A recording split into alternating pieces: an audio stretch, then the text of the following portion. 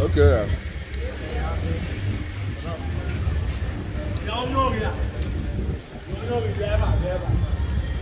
Ini kalau kamu udah gitu.